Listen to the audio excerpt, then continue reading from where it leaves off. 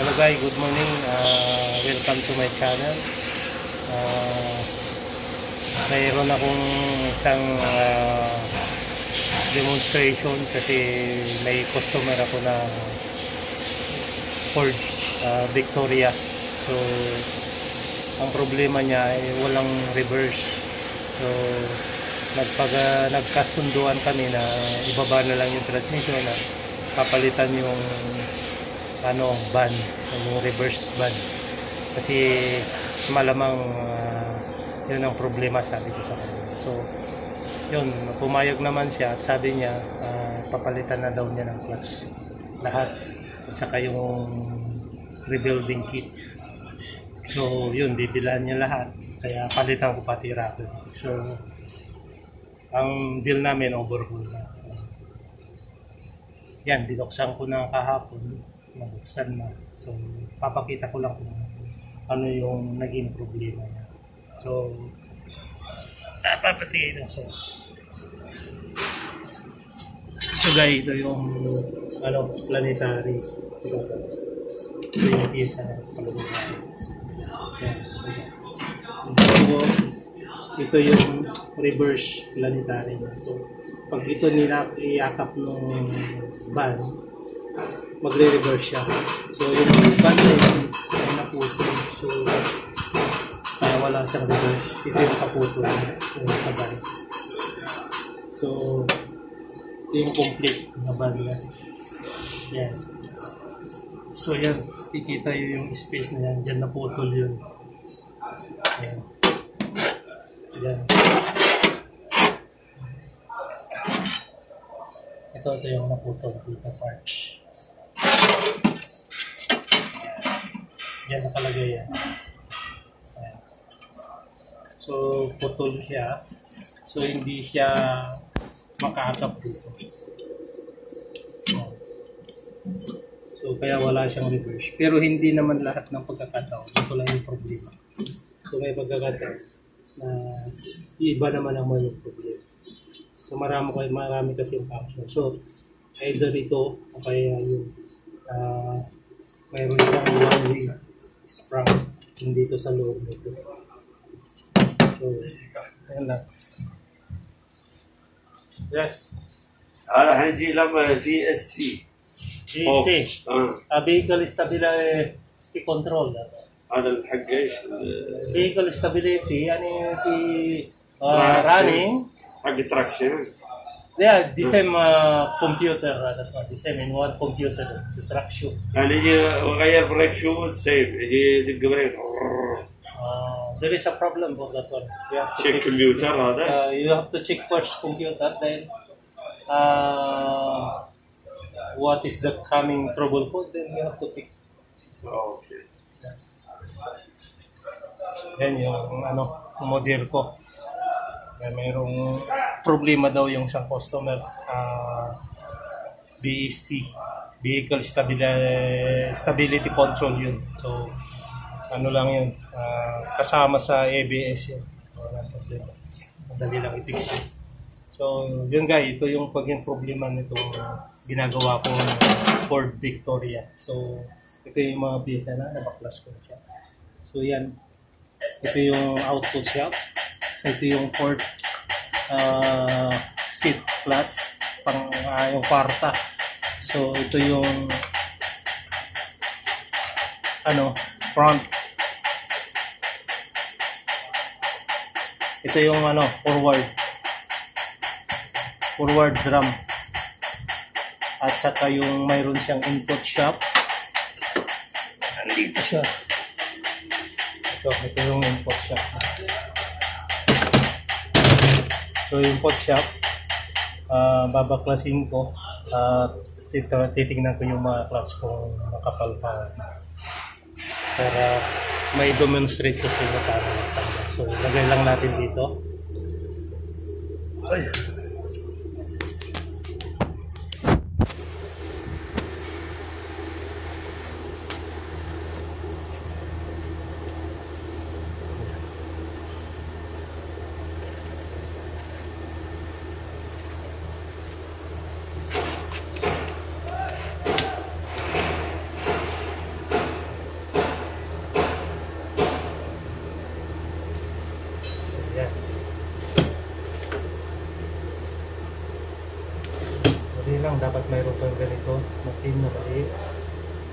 Kaya pwede.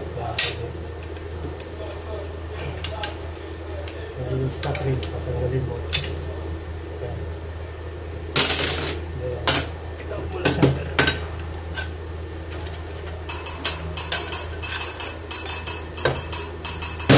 Ito yung niya. So, manipis na rin. Ito, manipis na rin yung ano, kinain na yung ano, party. So yan, oh. Kita wala na yung ano, slot, ubos na. So, palitin na rin talaga. So, ito guys, papalitan ko. Ito yung input shop.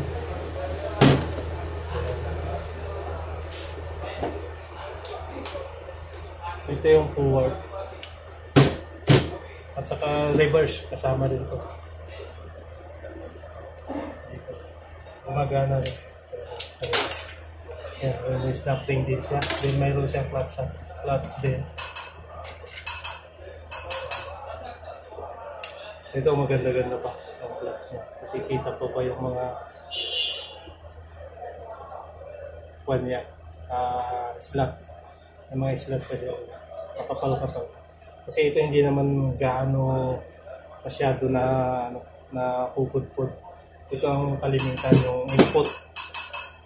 Kasi siya yung laging umiikot, umiikot lagi ito. Harap, ah, reverse, gumagana.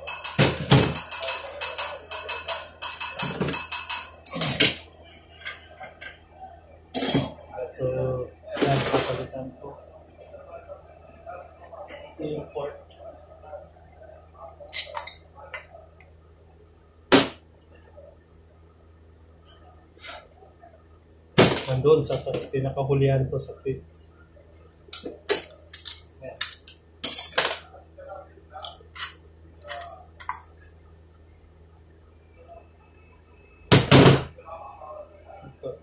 Okay pa yung clutch niya guys. Ayan. Ganda pa. So yun yung naging problema lang talaga yung van.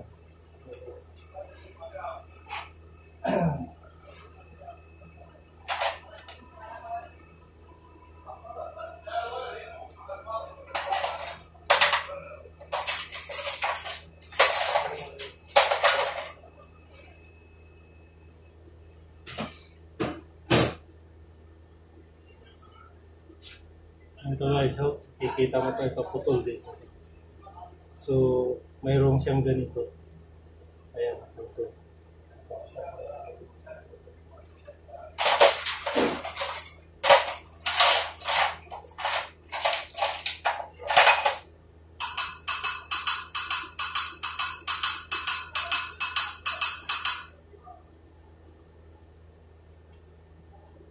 Na-misplace ko yung ano, ah, kaputol niya. So, yung guys, pinakita ko naman kanina yan. Kita niyo, dito na niya. Pag buo, ganito yun. Yan, buo to. So, yung mga gustong mag ah, gawa ng automatic transmission, ito na yung pagkakataon. Pag walang reverse, pwede itong sira. Pag ano, putol o kaya putput. Yan. So, tandaan nyo lang lagi. Madali lang kung ikaw lagi ay nag-observe, nanonood, manood ka sa mga gumagawa ng gear at saka kailangan mag-search ka rin. Yan. Para matuto ka.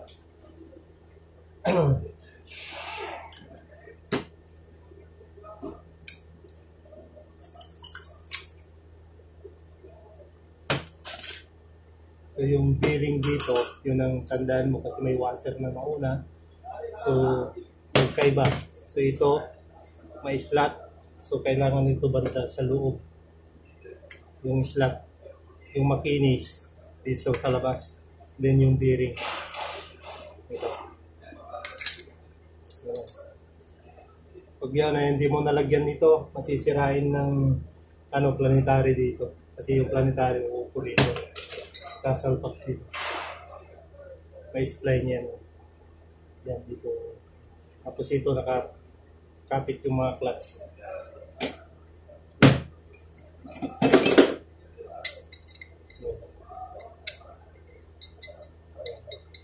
Yan nakakapit yung clutch. Kaya pag inipit yan, hindi hihinto yung planetary. So gagana yung fourth gear, fourth shift niya.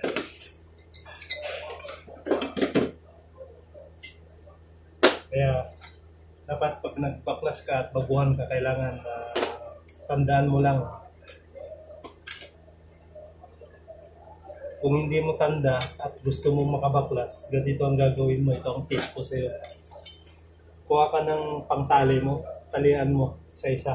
At saka yung mga bearings, talian mo rin. Yun ang tip ko sa'yo para matuto ka. Then, pagkalaunan, matututo ka rin. So, huwag ka lang mag-alala ah, kasi may mga vi- videos naman na mapapanood sa ah, YouTube YouTube channel. So, yun, panood ka lang. Kaya mo rin yan. Nakayanan ko. Bakit mo makaya. So, huwag kang mag-alala. Ah, may mga ano yan, mapalakasin mo lang loob. May mga reference naman yan. ah, pag uh, itaan kung paano makapag-assemble, makapag-dismantle, pero ano lang. Ito yung one, way- one is front gear. Ito. Andito sa may forward na. Ito. Minsan dito nasisira. Yung lock. Ito pag na-list tong lock nito, wala ring forward. So, mayroon din ako customer na isang Marquis na wala siyang front. May reverse naman siya, wala siyang forward. So, ibababa ko rin yun. So, malamang ito yung problema. Sa one week. Itong drum na to is forward. Low and re, uh, reverse ito. Andito na siya. So, ito, pag neto na-alis yung snapping na to, matatanggal kasi ang sisira. Ah, dahil dito, ayan o, tignan mo, free dito, pag dito, kakapit siya. Yun lang. Ah,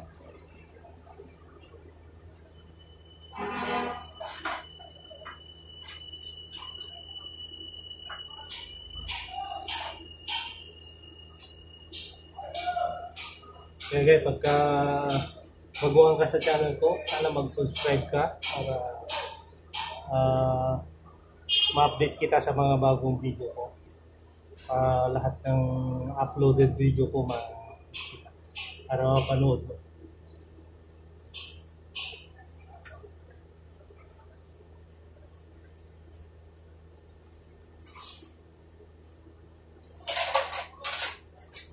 Kaya pala ito guys, ito yung pala yung van na sa harap din. Dito rin nakalagay yan. Dito rin yung mayakap sa may forward. Yung. Bihira naman nasisira to kasi hindi siya ganong persado. Ang persado rin yung reverse lagi talaga. So, malamang ito yung laging nasisira. Ito yung van din na sige sa harap maging makikita to. Tinutulak din ng piston. Yung piston na ano, ah, wait lang. Ito. Ito yung sa reverse, siya yung tumutulak din. Ayan, dyan sa naputol. Yung naputol dun yung tumutulak. Dyan. So yung piston na to, yung reverse piston. At ito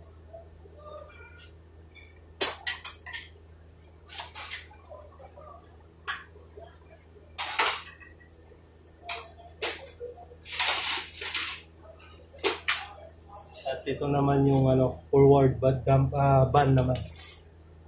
Ito, dito niya na tumutulak. Alright?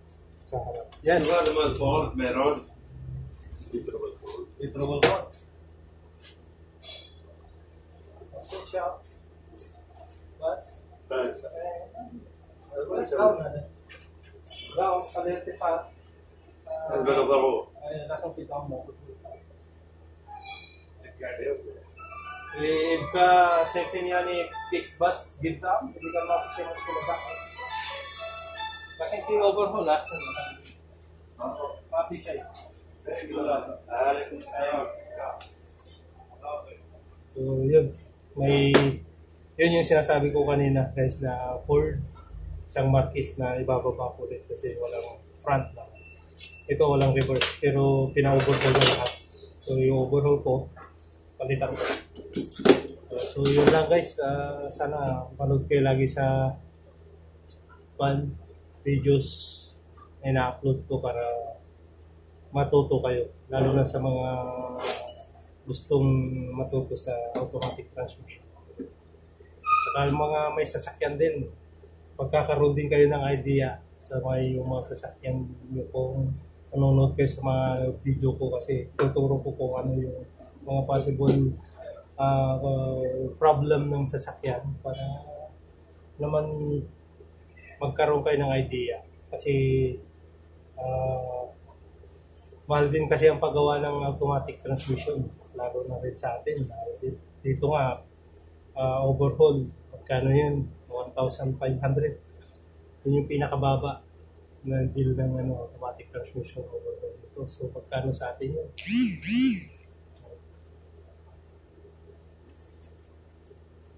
malaki-laking pera din yun kaya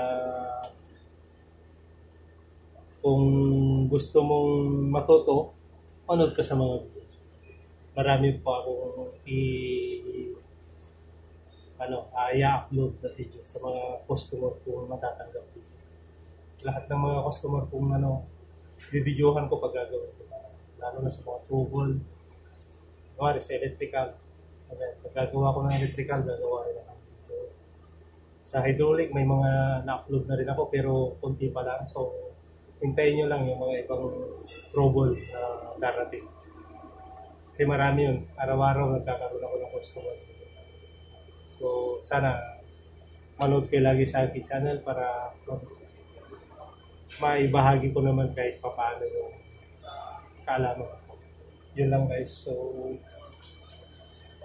sa next video ko, next video ulit. So, thank you sa mga lahat ng mga nag-subscribe sa channel ko at saka sa mga ano, bumisita.